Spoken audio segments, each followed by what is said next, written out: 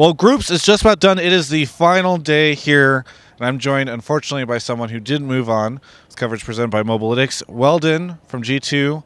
Uh, both the other EU teams made it. You guys being first seed somehow did not. Uh, what happened? Oh, we're going we're going straight into the meat of it. Okay. Um, People say that I just asked silly we questions. Lost three but- games, Okay. and then we got eliminated. Yeah. Well, but you guys played six. Yeah, we won three games too. Okay. So you went even, and it just didn't work. Yeah, I mean last year it was enough to tie for first, and this Yeah. year it was enough to get third. Yeah. So, I mean, uh, going into more of the specifics, what do you think it is that G2 was unable to make it out? Because theoretically, you guys are the stronger team compared to the other two EU teams. Does it just come down to groups, or was there other factors at play for G2 here at Worlds? Um, I mean, I think this is the strongest we've been all year, and I think that this was the most, maybe the most consistent we've been to, and I think we had the strongest grasp on the meta and teamwork, and our training was fantastic. So, I mean, it just has to has to come down to strength of the teams and and performance. Yeah, per, be pulling out performance when you really need to pull out performance, Yeah. which of course is also part of part of uh, high performance is being able to do it on the day that it is necessary to do. So I think in this case it's just we lost to Samsung and we lost to RNG. But going back to the groups, if G2 had Fnatic's group or G2 had Misfits group, would G2 be moving on right now? And if so, is that frustrating to you? I mean, yes, we would have massacred them, and it's kind of frustrating, but not really because the goal of a tournament is to win it. And if you're not going to be the strongest team, then uh, you know you. I mean, we know that now. If yeah, so, I mean, yeah, there's the question of like, uh, are you better at a best of five or better at a best of one? Um, what if you get a soft group for best of ones and you get to the best of five stages and you're better at adapting? But personally, I would rather be the team that's able to crush in best of ones and in best of fives. Yeah. So I'm okay with losing. Uh, if I continue to improve, Yeah. uh, and I think that the player players are okay with losing if they have something to hope for and something to improve on and something to aim for. Yeah. Yeah, of course it's frustrating. It took it takes years to recover from devastating losses like this when you sacrifice a whole year of your life for like a single-minded purpose. But um, but I don't think that like a soft group is any sort of enticing um, desire that, that pro players have. Yeah. Now, what do you think are the West rest of the West's chances here at Worlds? As we're talking about it, Cloud9 is starting to get through and their group, uh, but we know, of course, that the other EU teams are moving on. Unfortunately, no NA teams. Looking at sort of the other guys, do you see anybody escaping quarterfinals? Um, well, I mean, I think Misfits is doing incredibly in the boot camp. Like they just seem to be progressing and progressing. I saw them just last week on stage, uh, doing something that I'd never seen them do, you know, on stage before, and they just did it fluidly and automatically. Um, and so I think that they're learning a lot from their environment, and I think that Fnatic is is really gelling. I think that they're learning, you know, I think that the training partners here really make you show up. Yeah. And so if you if you go and you and you you know you you scrim against a really strong opponent and you're losing like four games in a row, it really makes you have an identity crisis and solve a problem in your team that day. And so I think that's good for for these teams. And I have no idea what sort of metamorphosis they're going to go through in the next few weeks. Yeah. Of course, I'm going to be cheering for them and and hoping that they that they advance. What was this Worlds like compared to your previous one? Are you more proud of this year's Worlds, or, or do you, you know, just kind of generally comparing the two experiences? What were they like for you?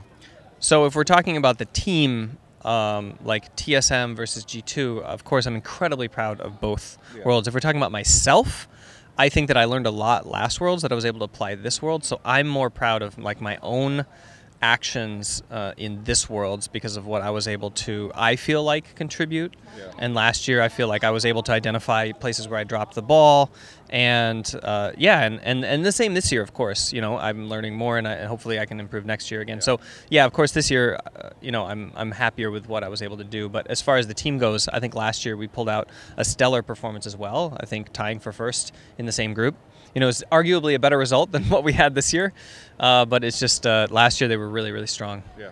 I don't think that SSG lost a single game from week one to the finals. Yeah. Uh, so this year we'll see if they do a repeat of that. that that's that's a commitment that they gave, you know, until they until RNG dumpstered them. So So we talked about G2, we talked about Europe.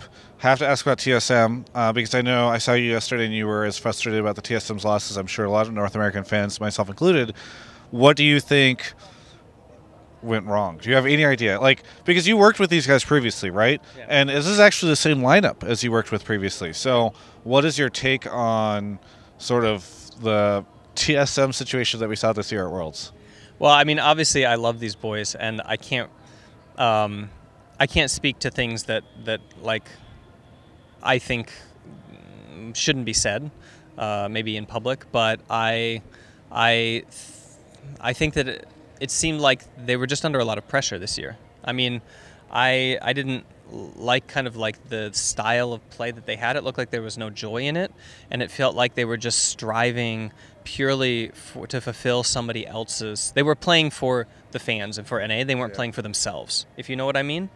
And like when you lose touch of like the reason that you're playing, when you when you pay like everything out in terms of blood for like the people that you're trying to represent, then um, you can lose a lot of the joy. And if you look at like how EU teams play versus how NA teams play, you see a lot more like joy, I would say, in their play style. And I think that's that we need to find a way in North America to like bring that back. And Yeah. I think that it's an organizational and a fan based thing Yeah. that we just like as fans need to have a lot more fun with Yeah. enjoying League of Legends and, and watching it and like being crappy. And that's fine, you know, and being like, oh, okay, well, maybe we can do it this year, you know? And that would give our teams more freedom to just like take it, not take it less seriously, but to take it more joyfully. And maybe that will allow them to unlock like, you know, less fearful play styles. Yeah.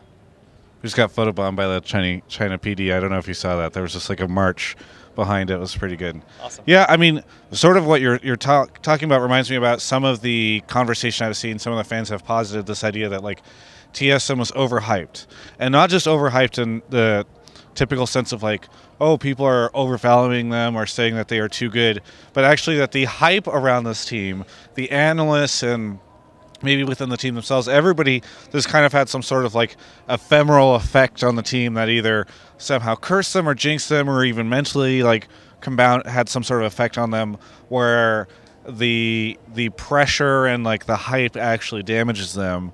Is that kind of what you're getting at with when you, you speak to just sort of the pressure they were under and playing for the fans? Yeah, I think so. And I thought last year that I was able to shelter us from that hype and be really practical, like one foot in front of the other and not slut, uh, overvalue. So, like, while there was all of this conversation out in the ether about it, I felt like in the team we were we were really practical and we like these people are strong opponents and, and then we you know they were good and we lost to them and they were better than us and it was really like it didn't feel at all like there was any choking it didn't feel like there was pressure afterwards i think that maybe like I was a little bit wrong in my analysis. Maybe some of the players like were hyping themselves up internally and, and we didn't know, you know. But but I think that like I don't know what the state in the team is this year, um, and I know that there's always a lot of pressure when you're on TSM to show up for the sake of North America and the sake of the brand and the sake of the fans and.